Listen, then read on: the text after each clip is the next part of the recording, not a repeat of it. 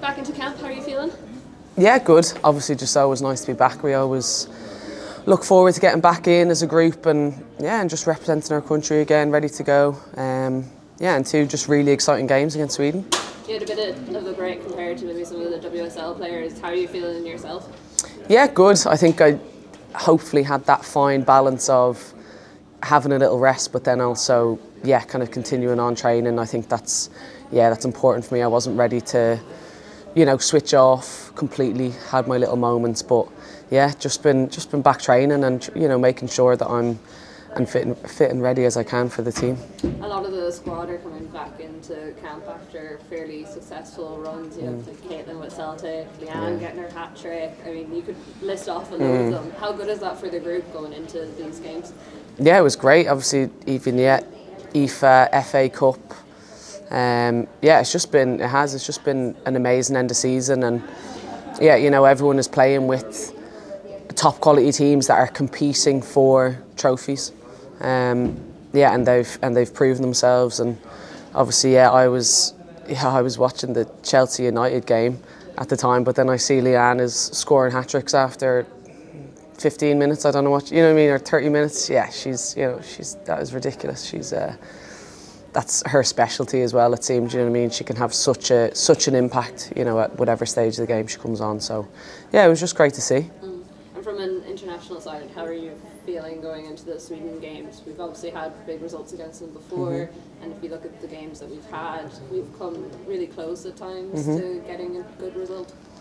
Yeah, I think it's it's it's always definitely a tough game. Um, very physically, mentally um, tough. Yeah, because they're just they are just so organised. They're very powerful, physical. Um, and yeah, there's definitely been tight games. We've always put it to them. I think, you know, we still do that with with a lot of teams. Um, but yeah, but Sweden really, really do have this quality. They show it in tournaments um, all the time in terms of their quality and how far they can get, and you know, break down the the bigger teams that are even ranked above them. Um, you know, they just they do have this special quality, I suppose. Yeah, even just playing there, it's just about it's just organised. They understand the shape. They you know, they have this way of playing and they do it almost to perfection um, every time. So, yeah, we've we're going to have our hands full for sure. But yeah, we know we've we've had some decent results against them. You know, it's still not a win, and that's what we want. But that's you know, at some stage we hope to change that. Uh, Louise, what have you sort of taken from the first two games, or what lessons? I know it's a broad question, but mm. you know, what, what did you take out of those first two matches? Um, yeah, I think just first of all, yeah, stepping up to a new level of intensity. Um, you know, because there was just going to be, you know, as soon as you're finished one game, you're like, right, well, we have we've just played France and now we have England and next to Sweden. You know, there's no. You, you have to quickly reflect and try to figure out what you need to change and yeah, I just think obviously the the tempo of the game again was lifted.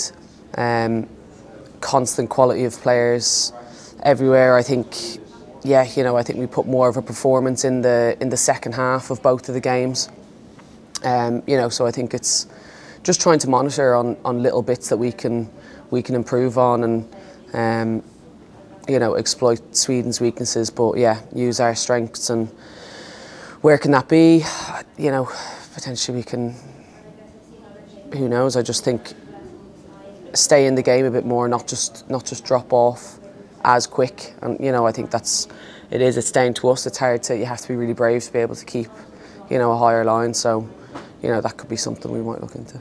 Yeah, I, I think I've said to you before that in, during the Nations League, yourself, Caitlin, Diane had some of the highest running stats, like in terms of mm. distance covered. Mm. We're playing really high. Obviously, not not a strong opposition. Yeah, yeah. Dominate game mm. that way first two games where it naturally happens, the teams you're playing are so mm. good that you, you can sink deeper. But yeah, is yeah. the intention to continue to, to play quite high and, and, try and take it even to teams as good as Sweden, England, France?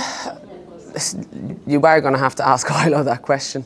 Um, I, yeah, I think it's it is just about finding a, a like that fine balance. Um, you know, at the same time as well, like you can you can see it in all football, men's, women's, across the leagues, you know, sitting deep as well is is a is a proper tactic. It's you know it's how they do it. You even see Liverpool do it, and then they're the best, one of the best counter attack teams. It's not a sign of weakness either, but I think it's if you make sure that you do it correctly.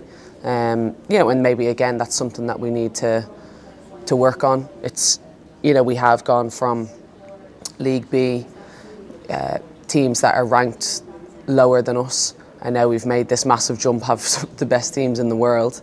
Um, yeah, and those things that we are maybe good at, we still have to. That's that's a big big jump um, in terms of that, in terms of getting up to that pace, and yeah, I think it's kind of that thing where we've shown it for one half of a game. Do you know what I mean? That's there, and we can do it. We can actually do it. It's not. Um, it's not out of our grasp at all, but it's. Uh, yeah, that's something we're just going to have to start working on now because yeah, we, we, we don't know yet it's going to be really difficult to catch the top in France and finishing the top two. That was always going to be difficult. But this, like finishing third, is really yeah. significant mm-hmm. because I think I'm right in saying that we then avoid relegation back to League B mm-hmm. in the Nations League. So, so this double header is massive yeah, yeah. just in that regard, isn't it? Yeah, yeah. It's it's constant. We want to pick up points wherever we can, everywhere we can, but. Um, yeah, the fact we have it at the moment, um, you know, we can def definitely take positive things from the last few games, but yeah, we need to start translating that into into points. Um, so yeah, so it's it's always incredibly important. We want to finish as best as we can. Obviously, I haven't even yeah, that may only be third now. You know, from even looking at the table, I'm not sure, but that's it. Yeah, we're just gonna just want to try get points on the board and yeah, prove to ourselves as well why we why we are in this league.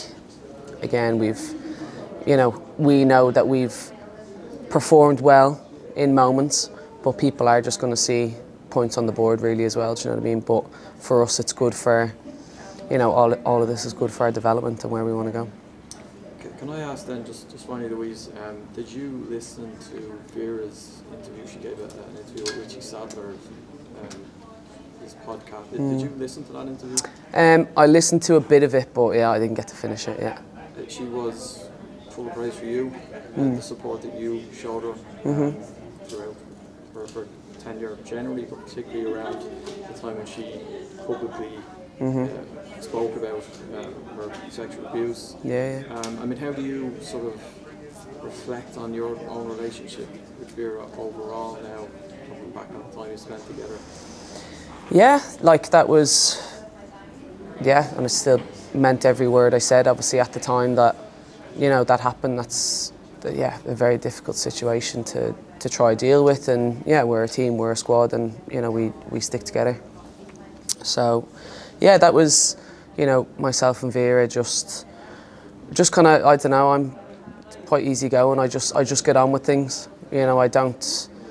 Um, I just do whatever it takes to make sure that I'm there for the team and in whatever role that is. And um, yeah, and that's it. Obviously, trying to work my hardest, making sure that I'm getting picked for the team. And then, you know, in other situations, I was just easy going, just being myself, just, you know, doing whatever. So obviously, that was.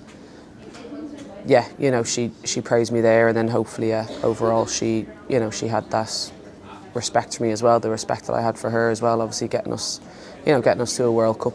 Um, it's huge, massive. So, yeah, it's um, yeah, it was interesting, but that's it. Thanks. Uh, just it was just on obviously the results. It's harder. Um, we're looking at it, club football. If results are going bad or whatever, you can bounce mm. back to playing. Because it is a bit frustrating the fact that you can't kind of almost put a result right almost straight away.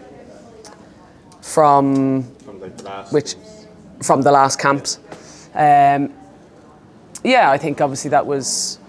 Um, it is tough. It's like, you know, because as soon as you finish that game on a Tuesday, you know, you're back in club either Wednesday, Thursday, and then you're straight into, yeah, you do kind of have to shift your focus. It's, I still think it's important for us. They obviously encourage us and give us the clips and everything to watch, and I do think it's, it's important to do it you know, almost as soon as soon as you can post game because it's yeah, it's a little bit easier to kind of just take that in in the moment instead of waiting, letting things linger, maybe thinking what you could have could or couldn't have done better.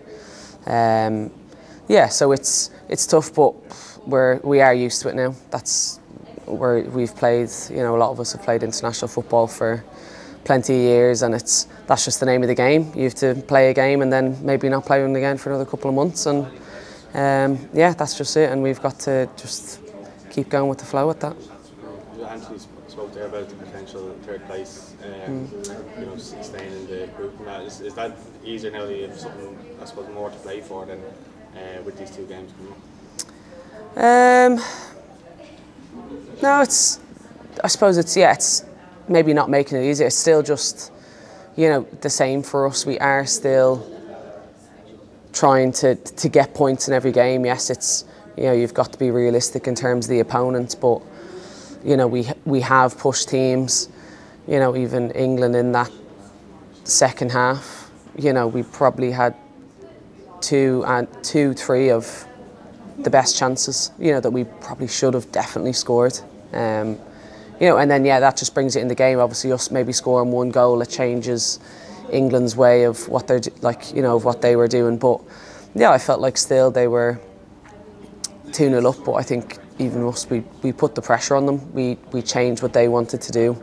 Um, you know, and we we pushed them back and yeah, it was disappointing. I think, yeah, for ourselves, for the you know the crowd that was there, that we couldn't convert one of the chances. But yeah, we're just kind of here now in these these games to kind of just um, yeah fix some of those areas what we can work on and yeah just getting back to the Aviva as well is is important for us and it's yeah it's all learning we're all constantly developing um, in probably potentially one of the most intense situations possible you know it's I'm not sure you could get a harder group even in a in tournament football to be honest so you know we've really just we've just got to adapt and do it, and and it is. It's it's amazing to see, you know, on a constant basis, what the top five teams in the world how they play. Because yeah, this is an unbelievable learning curve. Because yeah, you don't have time to to rest about it. You just need to you need to get on and do it. Thanks very much. Thanks, guys.